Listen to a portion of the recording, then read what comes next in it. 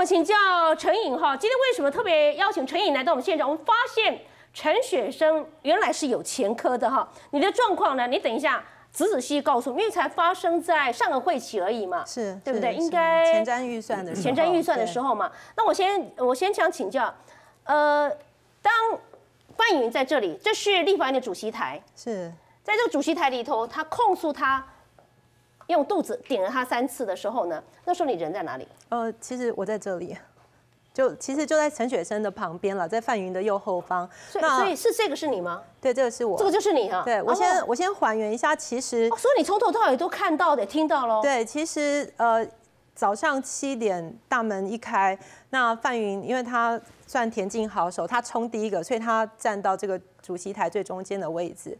那当下其实很多委员是在守外面，所以其实这个以外上面其实都是没有人，非常空。那陈雪生委员他也不在台上。那他在下面走来走去，后来看我们只有几个女生在上面，他就说他要上来，好，然后他就开始就这样子，那呃他就他就开始他上来，他手他手，所以他手摆在哪里啊？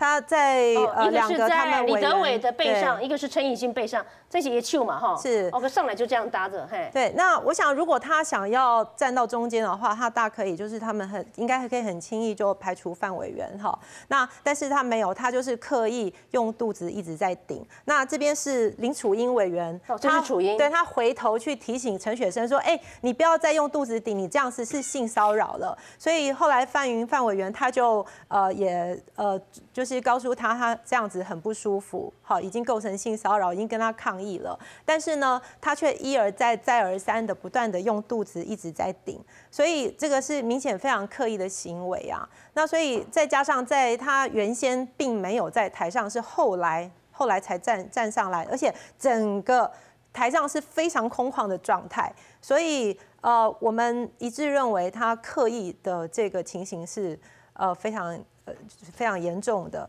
那在啊，我我想，其实我今天是用一个证人跟受害者的身份哈来到这里，又是证人，又对是一个受害者啊。对，那我我觉得其实很多女性在受到骚扰好或者不当对待的时候，其实我们在那个当下的第一时间，呃，很多的受害者会不敢，或者是当下没有反应过来。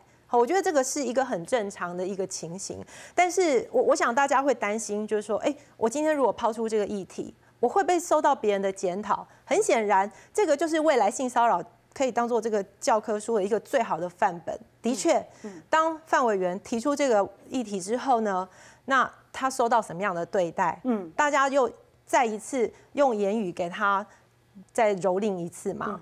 好，那包括连国民党女性的委员也没有帮忙说话啊。那我只是想反问说，陈雪生委员，如果今天是你的女儿、你的老婆在公开场合被人家这样子顶，你会作何反应？你会不会骂那些人禽兽？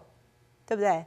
好，所以呃，我想要讲一下，我说我是受害者，是因为哦，我想还原在呃上呃上一届我们的这个呃前瞻前瞻预算在审查的时候，大家打成一团。嗯哼。那因为呃国民党泼了面粉，泼了水哦，就呃非常严重。哦所以那当时也泼面粉，也泼水对对对，那其实就，是呃，现在你所提供的连续的十四张的照片哈。哦哦，这个就是你，对不对？是这个就是你。是哦，OK，好，来我们看一下，其实大致哦它这个哦，这个这顶住，这不是胸部吗？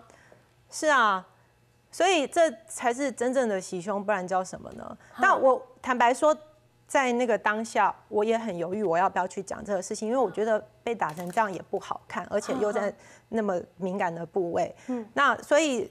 在那个当下，我想我第一第一个反应其实也会跟很多的女性是一样的。那我忍到今天，好不容易有这样的一个机会，我觉得我应该赢的状况对，我觉得其实我是看到陈学生委员他的反应，实在让人家忍无可忍，真的是太瞠目结舌了。然后整个党都没有人出来制止，然后来说一句公道话。那其实呃，在那一你可以还原当时的状况吗？其实当天你你已经胸部被侵犯了，你没有跟他抗议跟反应吗？我抗议了好久，但是他他甚至还还去跟我的父呃跟我父亲倒哦，对，跟你父亲倒倒什么？倒说呃我我我有打他。